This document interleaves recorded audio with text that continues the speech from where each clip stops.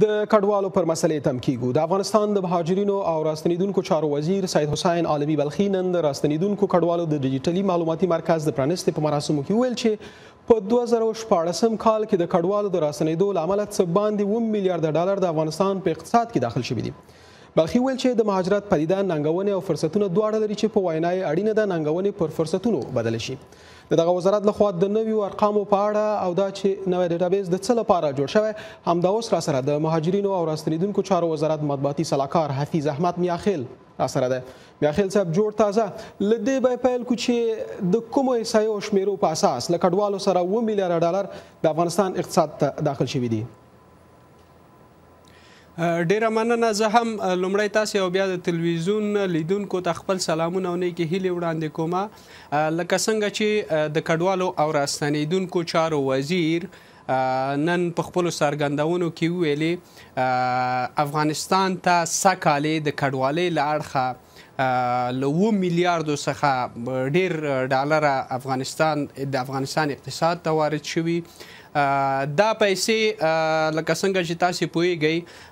سکهال په 2014 کال کې یو میلیون او اویا زره افغانان هیواد ته راستانه شول چې په دې کې څلور لکه هغه افغانان یا اقتصادي کډوالو چې په ایران کې په کار باندې بوختو دوی هیواد ته راستانه شوي دوی له ځان سره پیسې راوړي د دې ترڅنګ هغه پیسې چې د افغانانو له خوا له بهر څخه هېواد ته وارد شوي، دوی خپلو کورنیو ته یې حواله کړي. دغه پیسې هم په دغه اووه میلیارده ډالرو کې شامل دي. د دې ترڅنګ هغه بشري خدمات چې کډوالو ته وړاندې کېږي.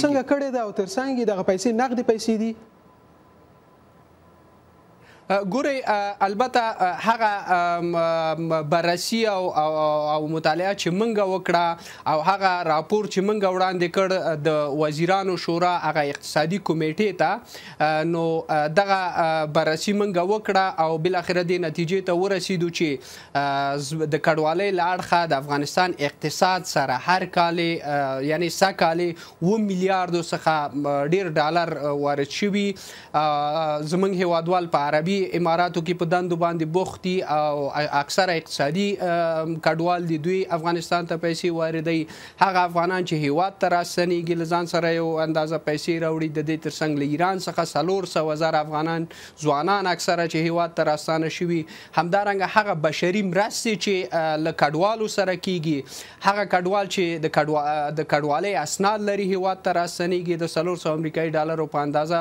د یونیسیار له خوا ورسره مرسته کیږي، د دې ترڅنګ د بې اسناده هغه افغانان چې د کډوالۍ اسناد نه لري او هیواد ته راستنیږي، نو په مجموع کې هغه هم بشري خدماتو له اړخه هم هغه پیسې چې افغانستان ته وارد شوي له دې امله له افغانستان اقتصاد سره له اوه میلیارد ډالرو څخه ډېرې پیسې یو ځای شوې. که ستاسو خبره موږ ومنو هم خو بیا هم دا اوه میلیارده ډېر یو لوی رقم دی. د افغانستان حکومت ټوله بودیجه شاوخوا څلور میلیارده ډالره کېږي. که په دغه شمېر کې پیسې افغانستان ته راغلې وي نو باید د نړیوالو مرستو باندې د افغانستان اتکا کمه شي.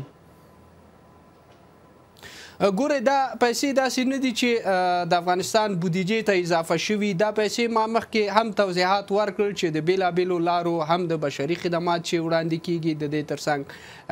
هغه افغان کارګر چې په عربي هیوادونو کې دي هغه افغانان افغان ځوانان یا اقتصادي کډوال چې په ایران کې دي هغه پیسې چې مثلا د پاکستان نظمنګ هیوادوال راځي لزان سره راوړي د دې ترڅنګ ګورئ یوه مهمه مسله دا ده چې دا د کډوالۍ هغه هغه مثبت اړخ دی یا د کډوالۍ فرصت دی کډوالي خو ستونزې او ننګونې هم لري زمونږ هیوادوال چې اروپایي هیوادونو ته لاړل په دې وروستیو کې له ده سره افغانستان یوه ستره مادي او معنوي سرمایه له لاسه ورکړه دوی ډېرې پیسې له ځان سره له هیواده هم ویستلې افغان ډېر ښه کدرونه لاړل ځوانان لاړل تکړه تکړه زمونږ هیوادوال لاړل اروپایی هیوادونو ته مخه کړه نو دا یې هغه ننګونې دي البته هغه پیسې چې وارد شوي هغه یې هغه فرصتونه. کې ننګونې ډېرې زیاتې دي همدا اوس مهاجرین ستاسو له وزارت څخه او اړوند ادارو څخه شکایت لري دوی لپاره اسانتیاوې برابرې شوي نه دي او دوی غواړي چې ورته سرپناه برابره شي او روغتیايي خدمات او دغه نورې کومې اسانتیاوې چې دي په دې اړه دغه پیسې هم راغلي دي فرصتونه هم شته څنګه د خلکو او دغه کډوالو سره ستونزې هم موجودې دي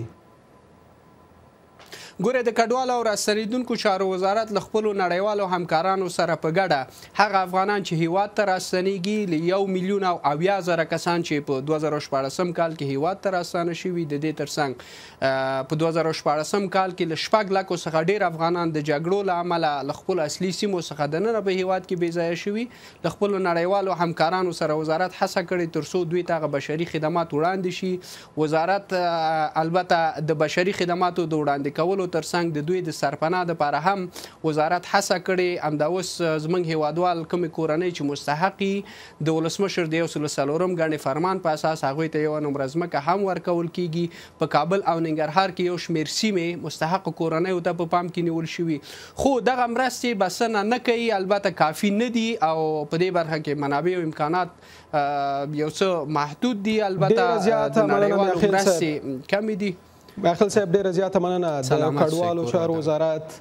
مطبوعاتي سلاکار حفیظ احمد میاخیل ستاسو له توضیحات څخه کور مو ودان